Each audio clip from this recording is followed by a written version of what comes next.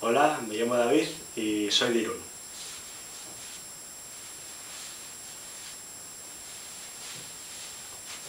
Y bueno, la escena de mi muerte está relacionada con una mala resaca. Dentro vídeo.